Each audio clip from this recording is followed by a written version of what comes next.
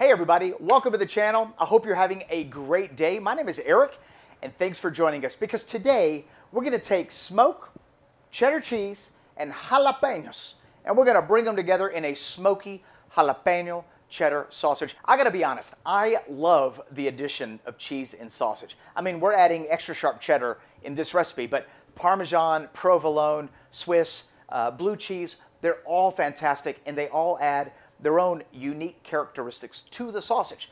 A great mouthfeel, wonderful texture. This particular sausage is not a technically challenging sausage, unlike some of the other ones on this series, but there are some things that you are going to want to know if you decide to make this at home. And don't worry, we're going to cover everything from start to finish.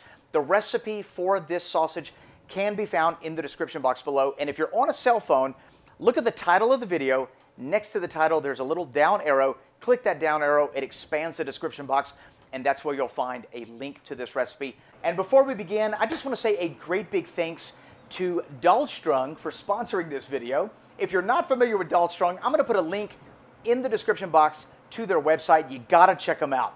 They offer more than 300 different types of knives, different styles to choose from, Japanese, German style, and they carry everything.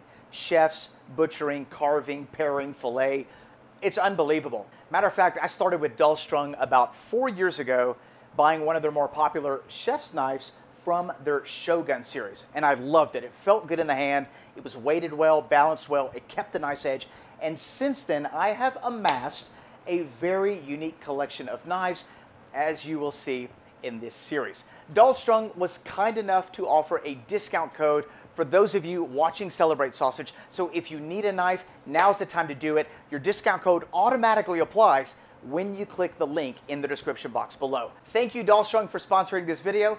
Let's make smoked jalapeno cheddar sausage. All right, let's get started with this sausage.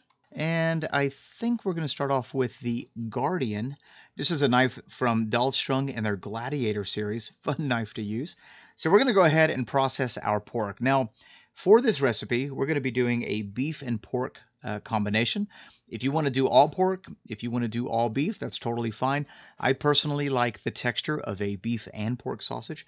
So once we get our pork cut, we're going to set that to the side, and then we're just going to go ahead and process our beef and our pork back fat. Depending on the kind of grinder you have will determine how you cut your meat.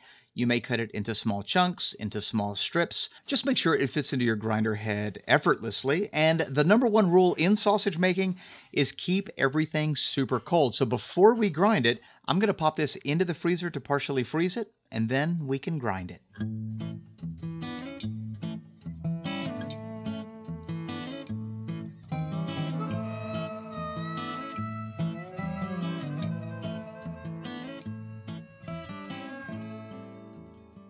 Now that we're done grinding, that's going to go back in the freezer. And let's take a look at our spices. We've got salt, cure number one. We're going to be adding some garlic powder and some onion powder. Just a touch of sugar, not a whole lot. And I'm going to add a little bit of pepper. Feel free to have fun with the spices in this sausage. We're now going to add whole mustard seeds. I love the flavor blast of biting into a whole mustard seed.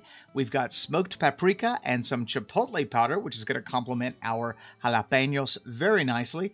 And then we're going to come back with the little red chili flakes. This one last ingredient is an optional ingredient. It's called sodium erythorbate. It's a cure accelerator and an antioxidant. And that just simply means that I can cook my sausage immediately and it's going to prevent the cheese or the jalapenos from oxidizing our meat. Speaking of jalapenos, we're going to go ahead and finally chop one up. Now, I'm only going to be putting one in. You can put however many you want. You don't want to overwhelm the sausage, though, with these extra ingredients, and so I find that one is perfect. And now we've got our cheddar cheese diced into small cubes, and we're just going to set that to the side. We don't need high temp cheese for this recipe because we're not going to be cooking our sausage above 150 degrees Fahrenheit. So let's start by putting our meat into our mixer and turn our mixer on low. For the liquid, we're going to be adding cream, and this is going to add a lot of richness to this sausage. It's also going to give it a slight creamy flavor, and then of course we're going to add our spices and our peppers. So we're just going to give this a mix until our mince becomes sticky and tacky. And when we grab a little bit of it, it should stick to our hand. So under normal circumstances, we would pull this out of the mixer. But for this particular sausage, we're now going to add our cheddar cheese. And adding the cheese at the end of this process keeps those little cubes intact, which I personally like. If you add it too soon, it may break those pieces all up, which technically isn't that big a deal. So we're literally just going to incorporate that cheese. We don't have to really mix it too long. I'm guessing another 10 or 15 seconds. And our mince is now done. So this is what it looks like. It's nice and sticky. And now it's time to stuff this into some hog casings. If you don't have hog casings, you can make burger patties out of this, and this would make a great jalapeno cheddar burger. So let's get this into some casings, which I apparently lost the footage for, but this is what it looks like when you're finished. And so all we're going to do now is get these linked up. The important thing to remember when you're stuffing your sausages is to not stuff them too tightly. If you stuff them too tightly, they could burst, uh, not only when you're linking them up, but when you cook them. So you just want to make sure that you don't stuff them too tightly. And I like to just across the board prick the sausage with a sausage pricker, uh, but specifically looking for any air pockets. So now we're going to place these into our smoker. And before we start cooking these sausages, we want to dry them out a little bit. So I'm just going to leave the door to my smoker open, turn the heat on, and leave them in there for about an hour. We're looking for a temp around 100 degrees Fahrenheit or 37 degrees Celsius, and this should be sufficient to just dry the casings out enough. That's going to help us get a really nice snappy bite when we go to eat them. So an hour has passed, and we're now going to begin the process of actually cooking our sausages. So the first thing we're going to do is increase our temperature to 125 degrees Fahrenheit and begin to apply smoke. And to do that, we're using a cold smoke generator from Smokin-It. Now, the cook is going to take several hours, and we're going to start relatively low and we're going to work our way up. Notice the sausages are nice and dry. Let's go ahead and close that off. And let me show you our cooking schedule because we're going to cook these nice and slow. All right, so let me go ahead and pull up the app for our Smokin-It Smoker. And we've already completed step one. Step one is 100 degrees for an hour, but step two is 125 for an hour and a half. And with a Smokin-It Smoker, once it's done with its cycle, it'll automatically move to the next one. So 145, 155, and then it's going to end up at 180 until the internal temperature of the sausages reach 145 degrees Fahrenheit. If you don't have a digital smoker, just cook these nice and slow. We don't want to cook it too fast and we don't want the temperature to get too hot, otherwise the cheddar cheese will melt out. So once they're done cooking, we are just going to place that into some very cold water to stop the cooking process. And then we're going to place these on our countertop for three or four hours at room temperature so that the sausages can bloom. And the blooming process doesn't do anything for the flavor, it just helps develop the color, giving you a nice, pretty sausage. So here's our smoked jalapeno cheddar sausages. I think it's time to give one a taste.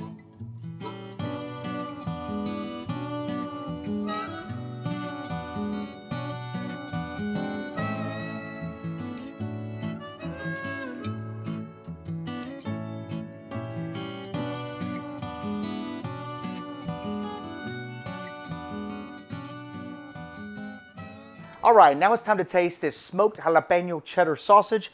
And I gotta tell you, this looks incredible. Nice smooth slice. We got cheese sprinkled throughout, jalapenos sprinkled throughout. It smells beautiful. It smells smoky. It looks like it's held together real well. So let's just give it a bite and, uh, and see how it tastes. Mm.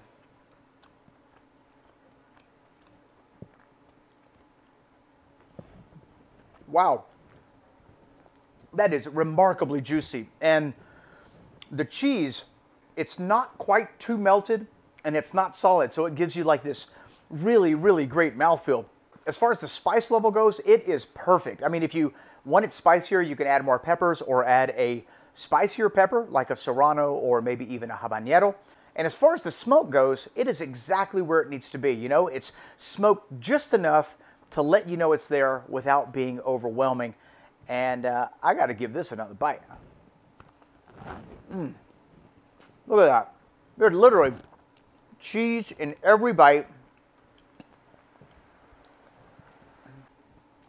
That's delicious. It's got a very nice creaminess to it. That casing's got a, a great snap.